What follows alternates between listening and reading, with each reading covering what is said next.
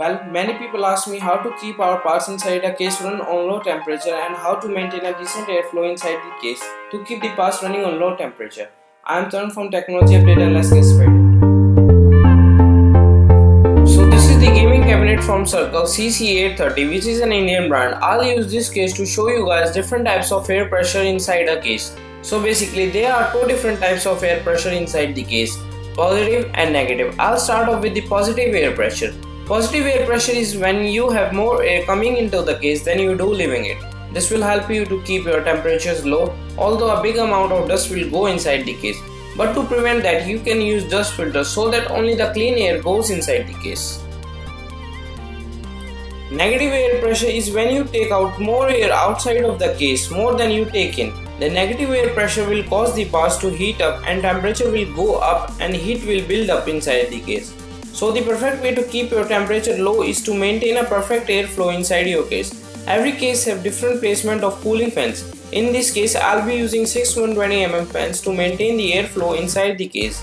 I'll be using stock cooler for CPU and stock cooler for GPU, no water cooling stuff. Well, this case supports water cooling tubing system, but I'll stick with fan power. I guess 6 fans are more than enough to maintain a decent airflow inside a case. I'll be using 220mm fan in front to blow air inside the case to cool the hard disk and SSD. But I won't be using them on full RPM which is 2000. They will stay around 1200 RPM for a decent airflow. Now moving on to the top, the two 120mm blowing air inside the case, they will be running on RPM around 2000 at their max speed to cool down the RAM and throwing direct air on GPU and CPU Although the CPU and GPU have their own stock cooler, but cool air from outside helps them to maintain their temperature. And this fan right in the GPU runs at RPM of 1200 to throw the air out of the case coming from front fans to maintain airflow. Now moving on to the back side of the case. One more 120mm fan which blows air outside of the case. It runs at RPM of 2000 and it was like a charm. I can even feel the hot air coming outside of the case. The GPU is having a stock cooler so we can control the speed from the system. If you have a Zotac or Nvidia graphic cards, you can use a Firestorm, a software to increase speed of the stock cooler fan on GPU.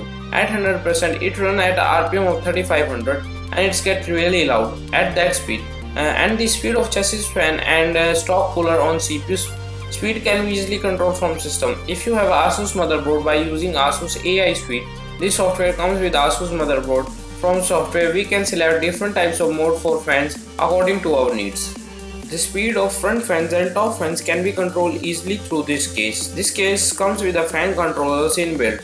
We just have to plug the fan into socket and we are good to go. We can adjust the speed to our needs. If we are playing games, we can run them at full RPM or the system is just idle, we can turn them to a RPM of 1000. So by using fans, we can maintain a decent airflow inside a case. My CPU is performing well with the stock cooler and I am not changing it sooner. Yeah, but water cooling is something else that air cooling can do. If you like this video, please drop a like or subscribe and I'll see you guys in the next one.